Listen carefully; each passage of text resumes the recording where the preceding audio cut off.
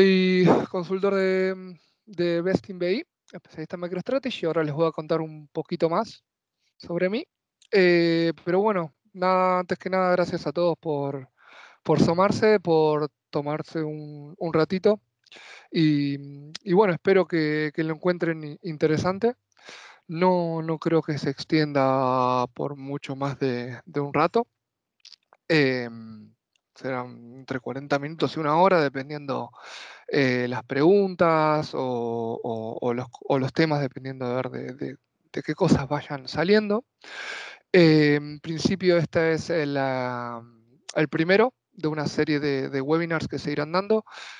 Eh, un poco el, objetivo es dar una, base de, qué es lo que se trata el BI, en qué consiste, por qué me puede llegar a interesar implementar BI en, mi empresa, cuál es, eh, de, qué se trata y, y, un poco empezar a, explorar en, este mundo de, que, bueno, que realmente eh, no, no, es tan conocido a veces cuando se habla de, los datos, muchas veces no se sabe a qué se refiere. ¿Bien? Bueno, eh, me presento yo acá muchos son de, Argentina de lo que estoy viendo, pero también hay gente de afuera, así que me presento, Joaquín, nacido en, Buenos Aires, Argentina, especialista, soy especialista en, MicroStrategy. Y bueno, también eh, debido a, los orígenes tengo bastante experiencia en, otros, en otros aspectos. Em, y, bueno, hoy voy a estar acá tratando de, darles una, buena visión y a ver de si pasamos un, rato y se, llevan algo de, esta charla. Bien. Bueno, entonces, ¿qué es lo que vamos a, ver hoy? Primero, vamos a, empezar a abordar un poco eh, qué es el Business Intelligence, de qué se trata, para qué, para qué nos sirve. Eh, después vamos a, pasar un poco a ver eh, para qué vamos a, o sea, de, qué nos sirve implementarlo, eh, tanto en la empresa como en, lo, que estemos utilizando. vamos a ver que, realmente el, análisis de los datos, que es lo que trata el BI, se, usa, se usa muchísimo en muchos más aspectos de lo que realmente podemos ver. vamos a, a revisar un poco algunos ejemplos que, tengo para en lo que es la implementación del BI. Em, y, después eh, vamos a ver algunos casos prácticos. Eh, por último, vamos a entrar un poquito algo más técnico de, cuáles son las, eh, la, introducción, o sea, de, de, qué se trata el BI, cuáles son las distintas partes, en qué consiste.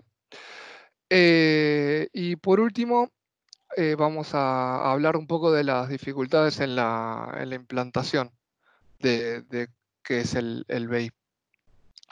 Em, me gustaría para la primera parte, por ahí eh, va a estar Juan, que nos va, nos va a compartir un poco lo que es una introducción.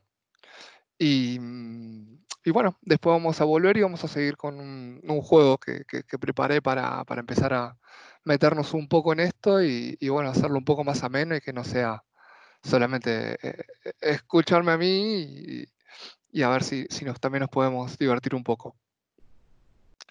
Em, buenas, buenas tardes a, a todos. Eh, gracias por, por, vuestra asistencia ante todo. Eh, lo que lo que queríamos explicaros esta sesión, como, como bien nos comenta Joaquín, es eh, bueno, pues una pequeña introducción a, lo que es el BI y, bueno, comentaros que Bestin BI pues es una, es una empresa de consultoría que da servicio a tanto a otras consultoras como a clientes finales en, en todo lo que es el ámbito del BI eh, con un enfoque en tu end, es decir, dando soporte tanto a la parte de, modelado, a la parte de desarrollo de procesos de carga y a la parte de visualización final, es decir, mm, eh, dependiendo de las necesidades del cliente, pues cubrimos una parte o cubrimos un, todo. También pues toma de requisitos, eh, trato, trato con, con el eh, usuario final y, definición de, del modelo. Y eh, entonces, nosotros lo que lo que hacemos, pues eso, es eh, tener un, equipo, o sea, proveemos a nuestro cliente pues un equipo de profesionales eh, para todas las necesidades que pueda tener relacionadas con, el BI. Entonces, luego os enviaremos al final de, la conversación pues un, correo pues a ver qué os ha parecido, a ver si tenéis algún tipo de interés relacionado con ello y a ver si os podemos ayudar de alguna manera. y bueno, eh, en cuanto a lo que son eh, preguntas y demás, eh, podéis escribir en el chat las, diferentes preguntas que os vayan surgiendo según, según vaya corriendo la, la, presentación. dependiendo del caso, pues intentaremos, si, si vemos que no corta eh, no corta el speech, sino que es algo que aporta, pues simplemente lo, contestaremos eh, en el momento y si no, pues al final de la sesión eh, pasamos a, repasar todas vuestras dudas y todos vuestros comentarios y, a ver si en qué os podemos ayudar. ¿Vale? nada más, simplemente agradecer a Joaquín por haber preparado este, esta presentación y, nada, le doy paso que proceda con la misma. Bueno, muchas, muchas gracias. Eh, bueno, entonces vamos a, empezar. Eh, tengo, preparé acá un juego, voy a ver si lo, comparto, si lo puedo compartir con ustedes. Lo que vamos a ver ahora, si bien es con, datos eh, de muestra, inventados, no sé si, ya se, ve, pero esto es un listado del de los minutos en los cuales el Barcelona mete un gol. Es uno por partido, están ordenados, entonces si empezamos desde acá, vamos a ver que en el minuto 17, en este partido, metió el primer gol, el siguiente en el minuto 41, y así. Teniendo esta información, y si vamos a jugar, que, hay, un premio. Si yo les digo en el próximo partido del Barcelona, eh, tienen que decirme o tienen que apostar, si quieren, en qué minuto va a convertir el primer gol. Entonces, teniendo esta información, me gustaría que lo anoten. Si tienen para anotarlo en un papel, lo pueden escribir en el chat donde más les guste, a ver quién, quién se gana el premio después. Em, pero bueno, eligen un minuto entre el 0 y el, 95, 97, 100, que puede llegar a durar un partido, a ver dónde, en qué minuto es el primero en que anotan. Vamos a ver, vamos a tratar de organizar un poco esto para ver si, podemos por ahí eh, facilitar un poco el, número, a ver que, si podemos tener alguna pista de, qué es lo más probable que pase. Vamos a venir acá al detalle y yo lo ordené. Eh, los números los ordené por las fechas que tenemos. Tenemos casi, una fecha sería un, un partido, ¿no? Una fecha de fútbol o del torneo. Tenemos 374 fechas en total. Y aquí está ordenada por la fecha. La primera es la más antigua, si, vemos acá el, día en el que se jugó. desde el 30 de mayo del 2019, bueno, acá está día a día básicamente. Y tenemos el minuto. Si alguno en algún momento quiere cambiar el número, puede. Solamente le pido que vaya anotando cuántas veces lo va cambiando, en caso que lo quiera cambiar. Yo voy a hacer una cosa. Ahora voy a poner voy a clasificar en vez de todo por fecha, voy a ver cuántos goles se hacen en cada minuto. Acá lo separé en una formulita. Em, entonces, lo que tengo es, en el minuto 1, la cantidad de goles que se hicieron. En el minuto 2, 8, en el 3, ninguno, y así. Y lo que voy a hacer es también ordenarlo por orden descendente. Entonces, de las 370 fechas que tenemos, vemos que en el minuto 37 es el minuto donde más goles hizo, en, en 26 goles hizo, en total en el minuto 37. Si alguno quiere cambiar el, minuto, todavía no se sabe. Pero bueno, si alguno quiere cambiar el minuto, está invitado a ver quién elige el minuto 37. Bueno, eh, vamos a suponer, ¿no? Que, yo creo que lo más probable es que el próximo gol en base a la información que tenemos en el minuto 37. Vamos a ver en el minuto 37 con qué tanta, tanta frecuencia sale. Y acá lo que vemos es que desde septiembre no se mete un gol en el minuto 37. O sea que hubo muchos goles en este minuto, pero desde antes de septiembre. O sea que si desde septiembre hasta, desde septiembre hasta acá no se metió ningún gol en ese minuto, por ahí no sé si me anotaría tanto a que el próximo gol va a ser en el minuto 37. Esta es mi opinión, ¿eh? por ahí la comparten o no. Vamos a hacer otra cosa. Eh, voy a, analizar por ahí, en vez de hacer esto, voy a mirar los últimos 50 partidos. A ver cómo fueron los goles en los últimos 50 partidos. Y acá tengo. en los últimos 50 partidos, esta fue más o menos la, distribución. Vamos a quitar el filtro de acá. Ahí está, ahora sí. estaban ocultas las filas. En los últimos 50 partidos, tenemos que de los 50 fechas, eh, en el minuto 66 se metieron 17 eh, goles. Y en el 24, 11. O sea, estamos viendo que hay otro patrón acá. Ahí de golpe el 37 ya no tiene tanta presencia. Y lo estamos viendo que el 66 pasa a ser un, periodo del partido donde hay más goles.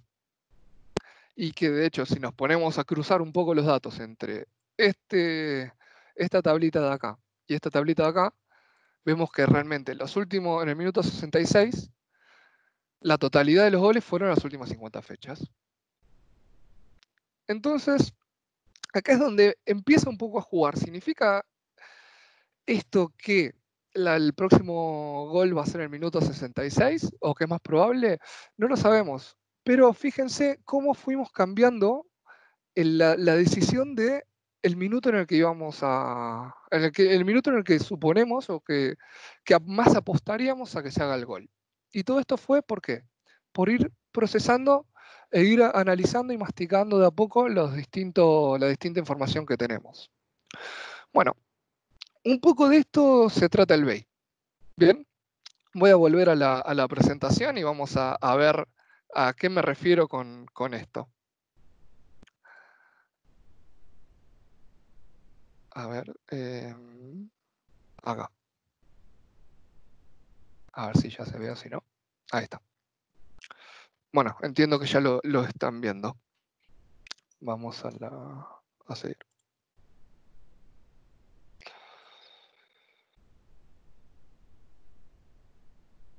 Acá está. Bueno. ¿De qué se trata esto entonces? Eh, un poco me gustaría acá ver si, si juegan conmigo o que vayan pensando eh, de estas cuatro capas que vemos acá, datos, información, conocimiento y competitividad, competitividad ¿en qué eh, etapa nos fuimos encontrando a medida que fuimos haciendo el, análisis anterior? Para esto les voy a explicar un poco qué es cada capa, empezando por la parte de los datos. ¿Qué son los datos? Los datos es la, información es un término que se refiere a, los distintos números y valores, hechos, eventos, eh, transacciones, entradas que vamos registrando. Nosotros teníamos los minutos, los minutos en que fue cada gol, pero lo teníamos en un cuadrado. Lo teníamos individualmente, sin darle un entorno, un significado a cada uno de los números que realmente nos sea relevante. Una vez que hicimos la primera transformación y ya le fuimos agregando la fecha, eh, o sea, qué número fecha era, qué día fue el gol, eh, lo fuimos ordenando, ya le fuimos dando un contexto, le fuimos dando un significado a esos números. Un significado que si bien ya sabíamos que eran, eran minutos, nos fue dando un conocimiento mayor de lo que estábamos teniendo.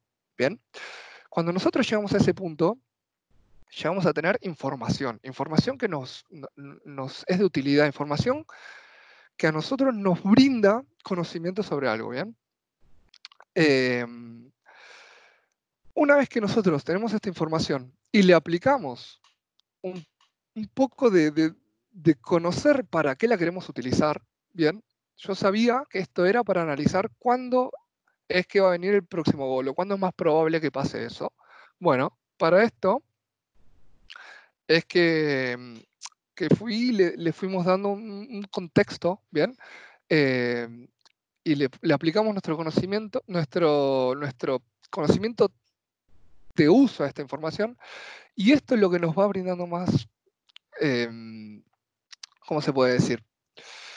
Eh, nos, va brindando un, un, entender el entorno y, cómo se va eh, interconectando la, distinta información que vamos obteniendo de distintos lados. No sé si, me expliqué. Eh, pero una vez que nosotros tenemos cierta información y le aplicamos nuestro entendimiento de la situación, nos genera un conocimiento. Bien, ahora imaginémonos que nosotros vamos obteniendo distinta información, un volumen mucho mayor, y lo necesitamos procesar y entender de distintas formas. Incluso sin, que seamos nosotros mismos los, em, los que tenemos el, conocimiento técnico. En este caso... Sí. Ah, bueno, en este, en este caso es que nosotros nos genera una competitividad. Bien, cuando nosotros podemos aprovechar al máximo el conocimiento y explotarlo al máximo de la mejor manera, es donde a mí me genera una ventaja con respecto a quien no lo tiene. ¿Ok? Eh, imaginémonos si nosotros, en vez de haber hecho todo este análisis paso a paso, empezar a ver, a ver eh, qué minuto me conviene, hace cuánto que no sale, que no se mete un gol en este minuto, por más que eh, haya mucha frecuencia de goles en tal minuto, vemos que es viejo, entonces no me conviene. Bueno, este tipo de análisis, imagínense si lo hubiésemos tenido al principio de todo. Al momento que me preguntan, ¿cuándo va a ser el próximo gol del Barcelona? Yo ya saberlo al momento, al instante. Eso me genera una, una ventaja por sobre quien lo tiene. Imagínense si cada vez que cambiaron de número, eh, ustedes hubiesen ganado la mitad del premio. Si lo cambiaron dos veces, o tres veces, o cuatro veces. Bueno, esa es la ventaja que te da el tener la información al momento.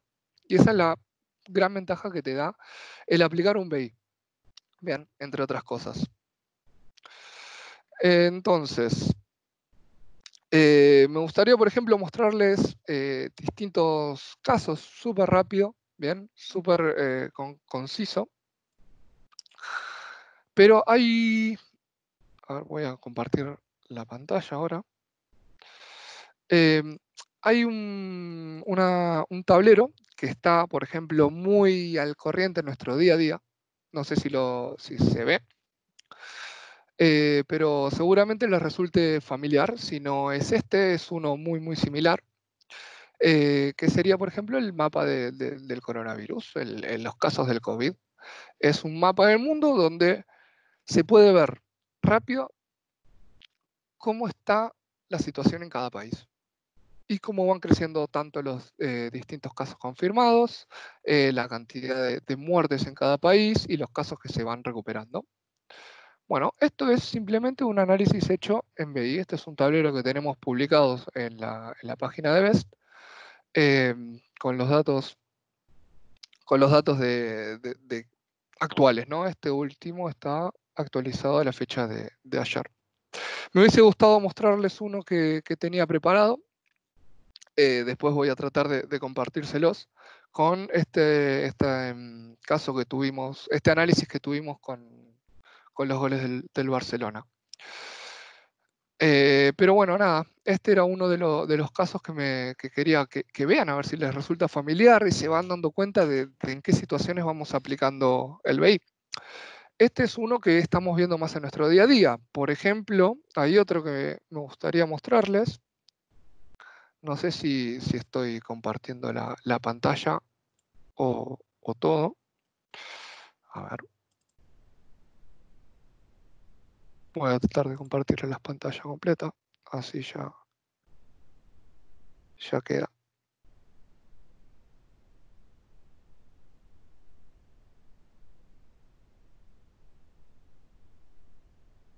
A ver.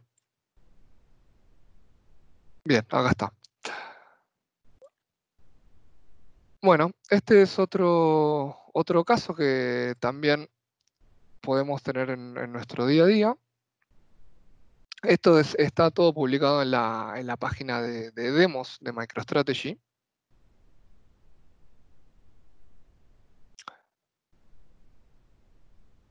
me recargó la, página. Bueno, a ver, este por ejemplo es un tablero que está publicado que es un análisis de, la, eh, de los gastos que se tienen con la tarjeta de crédito mensual. Seguramente en la aplicación de, banca que, que, tengan, cada uno tendrá algún tablero similar. Entonces te dice, por ejemplo, acá podemos ver qué tipo de gastos se tienen y se puede navegar un poco a ver, por ejemplo, en lo que es eh, viajes, cómo fue la evolución mes a mes, o por ejemplo, si yo quiero analizar un mes, veo en que fui distribuyendo los distintos gastos. Bien. Eh, después eh, tenía, tenía un par de ejemplos más que me hubiese gustado mostrarles, pero bueno, después se los iré compartiendo. Pero un poco era para que vean en qué situaciones se, utiliza y con qué tanta frecuencia se utiliza, que es el BI, que es algo que tenemos día a día. El análisis de la información, cómo lo, vamos usando. Bien. A ver si vamos a ver esto. Bien, siguiendo un poco con la presentación, vamos a ver eh, un poco más a, nivel de detalle por qué vamos a implementar el, o ¿Qué ventajas trae implementar el, BI en la empresa? Bien. Primero, bueno, el primer paso es un análisis de tendencia y predicción del futuro. ¿A qué me refiero con esto? El, entender qué es lo que pasó, el, ver cómo fue el comportamiento, cómo fue eh, llegando nuestra información, las cosas que fuimos detectando, me permite entender y hacerme una idea de qué es lo que va a suceder, ¿bien? Es el encontrar distintos patrones y el, el intentar hacer una, predicción y facilitar también el entender qué es lo que va a pasar. ¿Por qué? Porque si, yendo de vuelta a nuestro ejemplo, si yo veo que el Barcelona nunca en su historia hizo un primer gol en el minuto 73, por ejemplo, no voy a ir mañana a decir que seguramente el primer gol sea en el minuto 73. Pero por ahí es. Pero precisamente el entender cómo fueron los patrones me ayuda a mí a, a saber qué cosas es más probable que pase o que no. Analizarlo, análisis de resultados. O sea, una vez que nosotros pudimos haber implementado, por ejemplo, en el caso de un retail, que se aplica una promoción, o el tomar distintas eh, políticas en una empresa, o el haber eh, hecho ciertos cambios en algún lado, em, me va y ver cómo fue el impacto de estos cambios, me permite a mí también entender eh, si fue una decisión correcta, si fue acertado, si no lo fue, quizás tuvo algún resultado que no me esperaba. El analizar los resultados me permite conocerme a mí mismo como empresa eh, y como proceso también. O sea, me permite entender qué es lo que, es lo que estoy haciendo y, y también eso me permite tomar acciones al respecto, generando un crecimiento continuo. O sea, es entender cómo, qué es lo que estoy haciendo, eh, cómo está saliendo lo que estoy haciendo y qué puedo hacer al respecto. Y esto me permite mejorar no solo internamente, sino para afuera. Entonces, ahí viene el, punto de mejorar la competitividad. Si yo con los, los, resultados que voy teniendo me permite ir mejorando en las cosas que estoy haciendo y me permite ir viendo que lo que estoy haciendo me está dando resultados, significa que estoy siendo más competitivo. Bien, que estoy siendo cada vez mejor. El poder hacer un seguimiento de, las cosas que estoy haciendo también me permite eh, ver qué tan orientado estoy yendo hacia mis objetivos. Si estoy bien encaminado, si veo que tengo un objetivo de acá tres años y lo voy a alcanzar más o con menor facilidad o más o menos tiempo, Bien, si, las cosas están saliendo más o menos como lo, esperaba o no, y por qué, y qué hacer al respecto. En cuanto a lo que estamos hablando de facilidad de uso, supongamos que yo soy una persona que entiende mucho el, negocio y el porqué de las cosas y a los clientes y, el por qué hago cada cosa en mi empresa. Pero ese soy yo. Si yo tengo otras personas dentro de mi empresa que son responsables de tomar decisiones, que tienen que saber qué es lo que tienen que hacer frente a determinada situación. El BI ayuda mucho a que alguien, sin por ahí tener la, la experiencia o el conocimiento máximo, de, o, máximo un conocimiento alto de lo que estoy haciendo, eh, puede entender cuál es la decisión correcta para, para, usar. O sea, puede entender en el análisis de BI que se planteó entendiendo el negocio. Bien. Y por último, identificar nuevas oportunidades. Con esto me refiero a que por ahí, no sé, se aplica una... Empezamos a analizar las ventas que hubo el mes pasado y se descubrió, este es un ejemplo bastante conocido y bastante divertido, en que la, gente que compra eh, pañales también compra cerveza. Es un porcentaje muy alto donde se encontró que la gente que compra pañales también compraba cerveza. Entonces, eh, bueno, por ahí, si yo soy un vendedor de pañales y descubro estos patrones, por ahí puedo encontrar una nueva oportunidad, también ponerme a vender cerveza. Es un ejemplo, pero em, a, lo que voy con esto es que por ahí el, entender qué es lo que está pasando y cómo es que va pasando, eh, me facilita a mí el detectar nuevas oportunidades, nuevas posibilidades. Bien. Bueno, esto es un poco el visto a grandes rasgos en qué consiste el BEI. O, para qué sirve y cómo me puede ayudar. Em, voy a pasar ahora a una parte un poco más eh, técnica, por así decirlo, que es en qué consiste si yo quiero implementarlo. O sea, me habla de los datos, entiendo para qué sirve, entiendo cómo se usa, eh, pero ahora vamos a entrar un poco en eh, qué está basado el BI, de, cómo, si yo lo quiero implementar, qué es lo que necesito, a qué se refiere, cómo se adapta. Bueno, bien, voy a dividirlo en tres grandes partes, ¿bien? En tres grandes patas. La primera es la parte de la izquierda, que es la fuente de datos. La fuente de datos es de dónde me viene la información es la información que nosotros estamos teniendo, la información que conseguimos. En este caso eran los goles, o, puede ser también la fecha, un calendario, eh, mis bases de datos, eh, información de proveedores, la información de las ventas. Es la información que nosotros vamos teniendo. Como esta información puede venir no siempre de la misma forma o no siempre o casi nunca la información que me viene es exactamente como la quiero analizar esto tiene que pasar por un proceso, un proceso que se llama transformación, o es el ETL. Bien, eh, este ETL lo que hace es tomar toda nuestra, información, nuestros procesos, los Excels, las páginas web, eh, Twitter, eh, las noticias, lo que sea de donde venga nuestra información, lo procesa y lo unifica en una base de datos. Esta base de datos la vamos a llamar Data Warehouse, que es ahí donde nosotros tenemos toda nuestra información de la forma que a nosotros nos interesa guardarla. Bien, de la forma que a nosotros nos interesa tenerla. Si a mí eh, no me interesa analizar eh, los goles del, Barcelona de 1960, pues en este caso no nos interesa tenerlo en el warehouse. ¿no? Em, una vez que nosotros tenemos la información que nos interesa de la forma que nos interesa, eh, que esta sería estandarizada, se llama, la pasamos a visualizar, a dibujar, a pintar en todos los distintos gráficos, eh, reportes eh, y distintos tipos de análisis que nos interesan.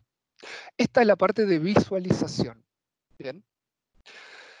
Para estas tres partes, por lo general se usan distintas herramientas eh, acá hay algunas que son las más conocidas, eh, no sé si conocerán otras, eh, un poco para que se hagan una idea de qué herramientas se utilizan cada una de las patas. Tenemos en lo que es bases de datos. En, este, en esta presentación tenemos SQL, Oracle, Snowflake. estos son ejemplos claros de lo que es base de datos, de donde nosotros guardamos nuestra información. Después está la parte del medio, que era la parte de la transformación, la parte del procesamiento de los datos que nos van entrando. Ejemplos de estos son Pentaho, eh, Informática, Oracle también está tanto en, la parte de tele como en la parte de base de datos. Y por último está la parte de visualización, que son las herramientas que nosotros utilizamos para dibujar y para pintar eh, la información que tenemos. Las más conocidas son ClickView, Tableau, Power BI, MicroStrategy. Hay otras, Data Studio, hay otras como Looker, eh, por ejemplo. Hay eh, SAP Business Objects, hay distintas herramientas. Era un poco para mostrarles y para que la próxima vez que escuchen alguna de estos nombres sepan más o menos para, para qué sirve. Bien. Bueno, eh, más o menos entendimos de qué va el BI, eh, más o menos eh, repasamos en qué consiste la implementación. Bien. Ahora viene la parte de cuáles son los principales retos. Porque yo digo, bueno, a mí me interesa, lo veo útil, lo veo necesario, pero ahora viene un poco de, realidad. O sea, hay, hay eh, retos, hay complejidades a la hora de implementar un BI. El primero de todos, y es este, bastante genérico para todo lo que son implementaciones, es la falta de conocimientos técnicos por los usuarios. O esto también lo podría transformar en lo que sería resistencia al cambio. Hay usuarios que ya están acostumbrados a hacer las cosas, eh, por más que sea más lento, por más que sea más tedioso, por más que lleve más trabajo, están también acostumbrados a eh, hacerlo de cierta manera. Y al por ahí no entender el cómo implementar una herramienta o, en qué consiste esto del BI, etc., puede generar una complicación a la hora de implementarlo. Otra complejidad es realmente un desconocimiento del alcance que tiene un BI. O sea, implementar un BI es una cosa que lleva eh, esfuerzo, trabajo y tiempo. Y quizás a veces decimos, bueno, pero implementar el BI eh, si el resultado va a ser este, por ahí no me vale la pena todo el esfuerzo. Bueno, lo cierto es que eh, seguramente el, el BI realmente es algo que lleva a una vista mucho mayor. ¿okay? No es solamente por ahí a sacar un reporte o a sacar una, una visualización o un gráfico bonito, sino que realmente hay otros resultados que, van que son derivados de el tener un BI en la empresa. Otro reto eh, puede llegar a, la complejidad de los datos. Bien, por ahí si realmente se tienen datos muy complejos o pocos procesados o, hay, eh, o son difíciles de conseguir. Bueno, esto requiere un trabajo eh, de un análisis y de una forma de, estandarizarlo compleja. Entonces esto puede realmente traer un trabajo y si no se hacen las cosas bien de una, puede realmente traer otros problemas más a futuro, que incluso pueden llegar a dejar las cosas más complejas de como están ahora, por todo lo que es el costo de, implementación. Otro, otro reto u otra contra o otra barrera que se podría decir es la ausencia de información histórica. ¿A qué me refiero con esto? A que si yo quiero implementar un BI hoy, pero no tengo información que analizar porque no la tengo registrada, los resultados se van a empezar a ver a futuro. Eh, esto es un análisis, una cosa que se implementa hoy para verlo a futuro. Y esto es una gran traba, es un gran problema. ¿Por qué? Porque lo cierto es que no se van a ver los resultados a principio, básicamente. Y otra gran barrera que tenemos, o otro gran reto, es el time to market. Que hay veces que para tener eh, ciertos resultados se requiere un desarrollo que lleva su tiempo, lleva grandes horas. Y hay veces que por ahí una persona dice, bueno, pero esto se puede calcular así rápido, de tal forma. Por ahí lo que es la implementación lleva otros, otros eh, desafíos, tanto de seguridad, tanto de procesamiento o de, lo que sea. Bien. Bueno, ¿cómo son los, los, servicios que, bueno, que, ofrece o, de qué forma se puede competir contra todos estos retos? ¿De qué forma los podemos afrontar? Bueno, acá es para eso es que estamos un poco nosotros, que somos ya una empresa que tiene bastante experiencia en este tipo de, trabajos. Y lo que brindamos son cinco servicios generales, que es el primero es de consultoría, que es eh, analizar lo que se tiene, bien, eh, los procesos que existen hoy en día y ayudar a sugerir qué cosas se pueden mejorar. O sea, brindar las mejores soluciones en base a la experiencia que tenemos. Eh, otro servicio que, tenemos es el del, análisis, donde tomamos los datos y ofrecemos eh, cuál es la mejor forma de optimizarlo, no solo eh, cómo optimizarlo, sino cuál sería la mejor forma, damos alternativas y también ayudamos a que se comprenda qué es realmente lo que tiene. Porque una, un escenario que realmente es bastante común, aunque no lo parezca, es que muchos clientes tienen información pero no la explotan del todo por no, comprenderla en su totalidad. Luego la parte del desarrollo, todo este proceso que estábamos hablando hace un rato de eh, las tres patas de cómo ir desde una punta hasta la otra, de, de cómo procesarlo, de cómo desarrollarlo todo, es todo un proceso. Bien, y esto además es un proceso que se puede involucra distintas tecnologías, distintas herramientas, y bueno, es otro de los servicios que, se, brinda. El mantenimiento, que es que una vez que se hace un desarrollo, bueno, a medida, lo más común en estos procesos, a medida que se va descubriendo el aporte que da el BI a la empresa, se van queriendo cosas nuevas, se van complejizando, se van eh, se va agrandando el, sistema que se tiene. Bien, entonces esto lleva un mantenimiento. Y por último, formación.